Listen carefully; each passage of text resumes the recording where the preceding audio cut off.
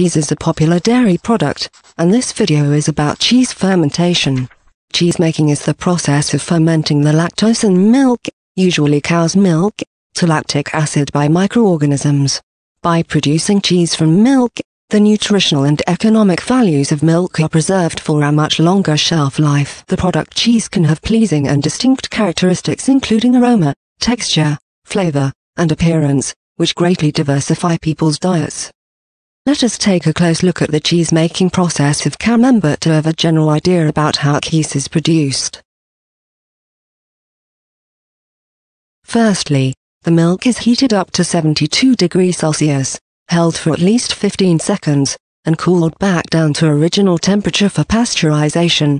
Then the milk goes through standardization and filtration in order to ensure that the milk is homogeneous and free of contaminating microorganisms. In traditional cheese making, these two steps can be skipped. Pour the milk in a pot and slowly heat the milk over low heat to 32 degrees Celsius. Then, sprinkle the mesophilic starter over the milk. The mesophilic starter culture consists of Lactococcus lactis, which consumes lactose in milk, can produces lactic acid, decreasing the pH and assisting the coagulation. The temperature is kept at 32 degrees Celsius since mesophilic bacteria has the optimum growth temperature between 25 and 30 degrees Celsius. P. candidum mold powder is also sprinkled over the milk. Penicillium candidum is a mold that gives the surface of camembert cheese a fuzzy white texture and prevents contamination from other microbials by catabolizing lactic acid. After rehydrate for 5 minutes, mix well using a whisk and up and down motion.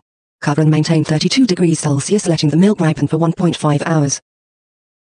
Add the calcium chloride and gently whisk in. The addition of calcium chloride is to compensate for the loss of calcium ions during pasteurization. The curds can be even more stable. Add rennet in the same way. The rennet is the main coagulant in the coagulation. It is basically a group of proteinase from animal, plant, and microbial source. It cleaves the K-casein from casein micelles, which have polar K-casein at the surface and hydrophobic cores. The cleaving forces the micelles into a matrix.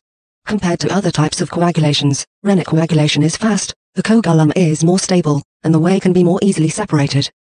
The coagulum formed is cut perpendicularly and at the angle of 45 degrees trocally to initiate the separation of curd from whey. Stir gently to avoid matting.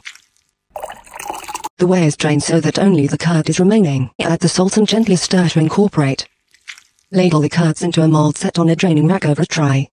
Let drain at room temperature until the cheese is firm enough to flip. The cheese is taken out of the mold and put it in a ripening box. A wadded damp paper towel is placed in a corner of the box with the cheese to keep the humidity in the box high. Place the box in the bottom shelf of the refrigerator. Flip the cheese every day.